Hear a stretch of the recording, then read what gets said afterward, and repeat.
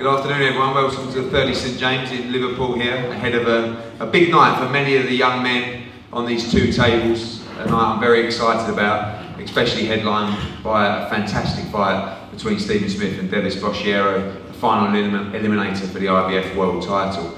Just to introduce everyone on the table, down on the, my front left, a young unbeaten light heavyweight who is now stepping up into some major fights. Uh, on Saturday night he'll fight a final eliminator for the Commonwealth light heavyweight title um, against Trinidadian's Nigel Edwards, who's here as well. We welcome him and Box with Pops, our long-term friend from, from across the, side of the sea. A young unbeaten light middleweight, Marcus Morrison from Manchester, who is really coming on as one of the top young prospects in the country.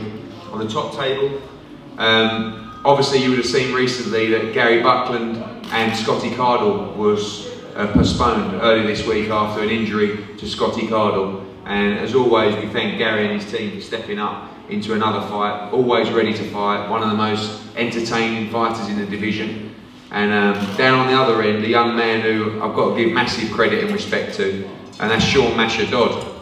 Um, stepping up against Gary Buckland on Saturday night. He's already sold a huge amount of tickets. I've heard about the fans, I've heard about the songs and the atmospheres, and now he gets a golden opportunity. This is a beautiful thing about boxing because Sean Dodd goes from a six rounder to a fight with Gary Buckland, which essentially is an unauthorised, but I will call it, a final eliminator for Scotty Cardle because I want to give the winner of this fight a shot against Scotty Cardle for the British title. And Sean Dodd gets a chance live on Sky Sports at around 9.15 to take on Gary Buckland. And uh, it's going to be a wonderful, wonderful fight and a wonderful atmosphere inside the Olympia.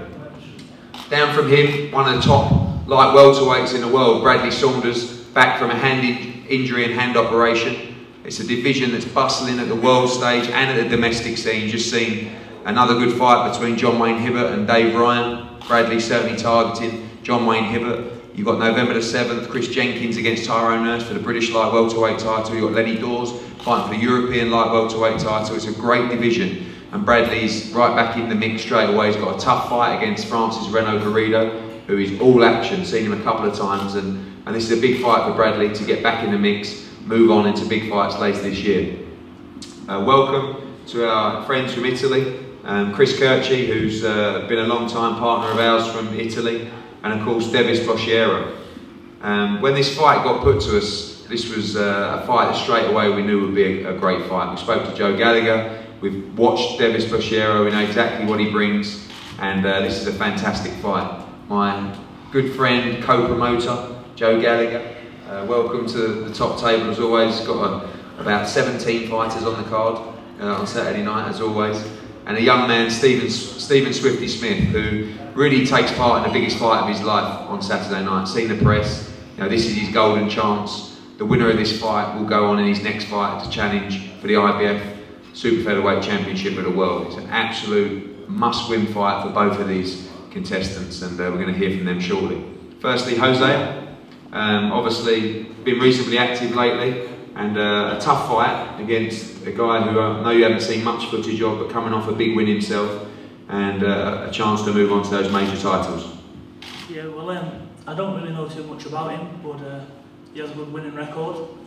Um, come fight night, I hope he gets knocked out. Obviously, uh, you know, the, the, the, champion at the moment in the Commonwealth is Bob Ajisafe. That's a guy who turned down a fight with you when you're ready to step in at Leeds. But they're the kind of guys that you want to move on to now. Yeah, Bob Ajisafe me man after this. Um, so he turned down a fight after I had a, a week's notice to fight him. And um, he turned that down. Obviously, he doesn't want me. So after after uh, after this fight, I'm looking for him. Marcus, um, been very active yourself. Obviously, boxed um, in Manchester recently, and now in Liverpool, and, and looking for a, a, busy end to the year. Yeah, I've had a, I've had a busy busy year this year. I've had you know this seven fight within 12 months, but uh, yeah, Saturday night I've got a decent opponent uh, on paper, better than anyone I fought. Uh, and I think on Saturday night you'll see uh, the best of me, and you'll see what I can do. Obviously, I know your future is directed and dictated by Joe, but how far away do you feel you are from those those British light middleweights right now? You know, I think give myself about good 12, 18 months, within the next six months, I definitely will be looking for you know, at least a central or central area title or an English title, something like that. But you know, within the next 18 months, I'll uh, hopefully be up there with the, with the best in Britain. Thank you, Marcus. Uh, Nigel, welcome. Uh, I know you may have seen a little bit more about Hosea Burton, but uh, we're excited to watch you uh, in a, what should be a great fight on Saturday. I think that um, I've been more focused on um, seeing that um, what I could do and also um, focus on um, on the fight and see what um, what I could accomplish for the fight. Obviously, a big fight for you, the winner going on to fight for the Commonwealth title. yes, it's um it's an opportunity that um, I'm willing to take and um, see that um, I come out with a win. Thank you, Nigel. Gary, obviously, uh, I was uh, devastated by the news. I think you against Scotty would have been a great fight. You look in great shape. Um, you're ready to fight, and obviously now taking the fight against Sean, which uh, probably more pressure on you more than anything because it's a must-win fight. But as always, you're ready to go. Yeah, definitely. Like I said, I was well prepared for, for Scotty Cardle. Um, I was a little bit shocked when they opened up on Tuesday, but uh, got past that now. Now I got to look now at Sean. And I'm not looking past his fight, hopefully now get him get past him on Saturday and then you know, Scott Cardle fight again in November. Sean, obviously a massive opportunity for you, not just in terms of what comes through through victory on Saturday, but you know live on Sky. And I know you, you've got a big big set of fans coming down, um, and a tough fight against Gary Buckland. Yeah, definitely. Um, I remember watching Gary, and um, and I love to watch Gary Buckland. He's an entertaining fighter, but uh, you know I'm an entertaining fighter myself. I've got a lot in the uh, in my in my tools. So come Saturday, you know, he won't he won't be looking looking for November. But it'll be me. Obviously, boxing's all about taking chances at the right time, but but really this this one could be a real career changer with victory on Saturday. Yeah, definitely. Um, you know, the past, the fights I've had in the past, you know, they've all boiled down to this moment now. Um, there's a big opportunity for me, and I'm going to take it with both hands. And come Saturday night, Buckland's getting buckled. Thank you. Bradley, um, obviously the, the disappointment of the hand injury. Um, you were due to be fighting Dave Ryan in Newcastle, which, which would have been a great fight. Yeah. Um, you, you, broke your hand in sparring, had the operation. You look in great shape. I know you're in a great place and ready to get back on the horse. Yeah, yeah. I've um, my last two fights, in all fairness, where I signed me already, and I haven't been 100% for none of them. You know, just with hand injuries, training through camps with one hand, getting in fighting, and I just haven't been myself. You know, and now um, I'm getting back to 100%. Looking forward to obviously this fight. I mean, this, this kid I'm fighting for, that Fedorchenko last. Um, got beat on a split decision. That's a world title challenger there from over in Ukraine. So he's no pushover. He comes to win, comes for a fight. He's already messaged me on Twitter now saying that, that, that he's going, he's coming for it. So he's going to come for it, he can have it, no doubt. Um, but I'm looking forward to this fight. Get get my hands tested properly, and then pushing on. And I said it before, and I'll say it again. I'll fight any any light welterweight in Europe, not just Britain. I'm not. I'm not thinking well ahead of that. And, I'll fight anyone. You know, I've always fought anyone all the way through my amateur career. And if anyone who you put there, I've never knock anyone back. You know, like yourself. Um, so I'm just looking forward to my future. now. I'm getting busy this year, and hopefully next year push on properly. A great time for the domestic light welterweight scene, one that's been quite quiet for years gone by, and now really bustling with, with some big fights. Yeah, some cracking fights out there. I am, like you said, they've got Tyrone Nurse, Jenkins. Training was on the amateurs with all them. Nearly fought Jenkins a few times in the amateurs.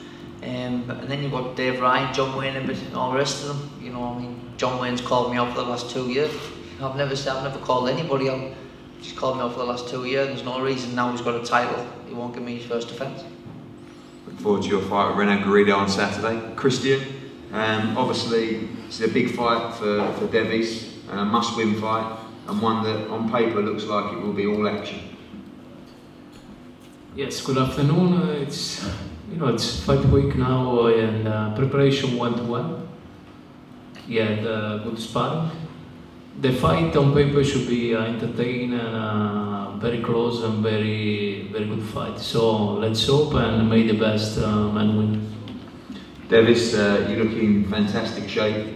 Um, I trust you've had a, a great camp ahead of an important fight on Saturday.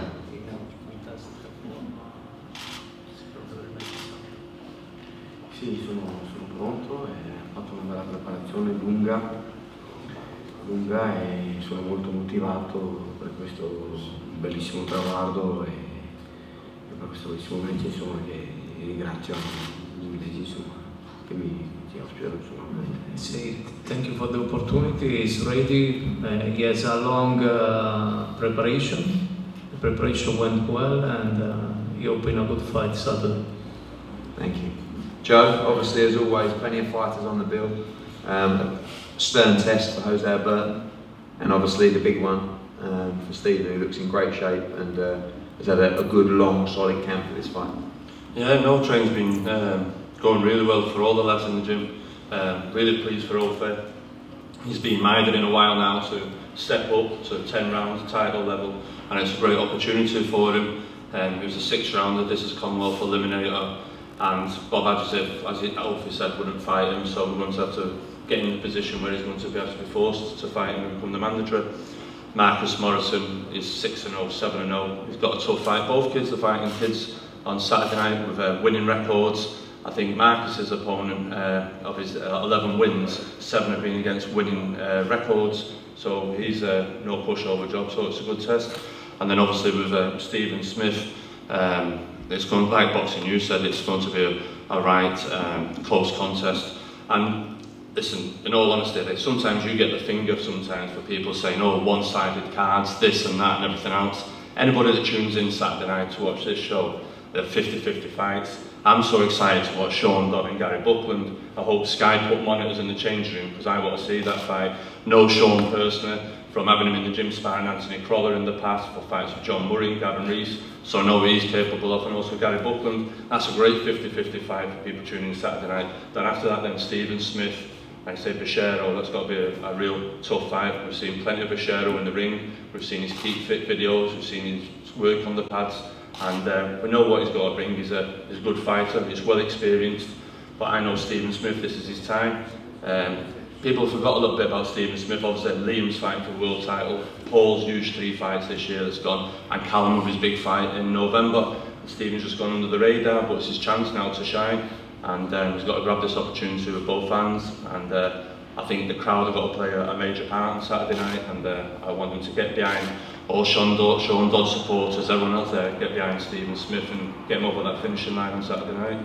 Obviously, now you, you study the opponents intensely. What, how do you see the fight playing out? Not going into tactics, but what kind of fight do you expect on Saturday? Well, Bashiro has travelled, he's um, been very lucky, he's always fit, good work rate, good left hook, right hand, and I think both fighters will have moments in the contest. I've already said to Stephen, I see it very similar to the John Simpson fight, the second one at the Olympia, where Stephen had moments in the fight and Simpson came back, and Stephen, that's what we're prepared for, a hard 12 rounds of non-stop punching, and whoever the stat man is on Saturday night, the punch count has got to be Thursday high Saturday night. Stephen, obviously uh, you've had a, a, good long camp for this. You've been training probably when you, you found out about this fight. I think you're probably training for three or four weeks before you even started your camp. So uh, ready to go on Saturday night. Yeah, um, you know, camp, camp's been good. Uh, you know, couldn't have asked for more really at the time, at the preparation, you know, and a new opponent. So, you know, no excuses. I've been really good shape and, you know, I'm ready to go. Obviously, I've seen some of the quotes put a lot of pressure on yourself saying that this is the fight you must win. Obviously, a pivotal moment in your career on Saturday night to, to move on and change for that world title. Yeah, it come across a bit different. It's just one of them, you know, I don't go into any, any fight thinking, it doesn't matter, you know, I'm getting the chance. You know, every fight's do or die, really. Every fight you've got to win. And, you know, I don't want to look past any fight. So, you know, in, in my opinion, this fight, I've got to win it because, you know, I fight for the world title next. That's my goal. Boschiero, uh, very busy, very durable, you know, been, been the distance with some top fighters. Are you expecting a long night on Saturday? Is that what you prepared you for, that, that kind of grueling fight? Yeah, you know, you've got, you've got to prepare for it, otherwise, you know, when you come unstuck, you leave any stone unturned, um, but, you know, Joe's saying, saying me very hard, like he always does with all the lads, you know, we're always in good shape, and, you know, I'm, I'm fit and ready for 12 hour rounds now if I need them, and oh, I don't know whether I will, but, you know, I know, I've got it so fast in front of me, but, you know, I'm all eyes on it until the occasion Saturday night, and you'll see the best of me. Thank you. That's our main event, the IBF final eliminator for the Super Featherweight Championship of the World. Um, doors will open at 5 o'clock on Saturday. We'll be, un- we'll be underway about 6 pm. Zelfa Barrett also on the bill, Tom Farrell as well. So some big, big names, some great fights, and uh, get behind all the lads on Saturday night, particularly the local boys. And we'll see you at the Olympia on Saturday. Thank you very much.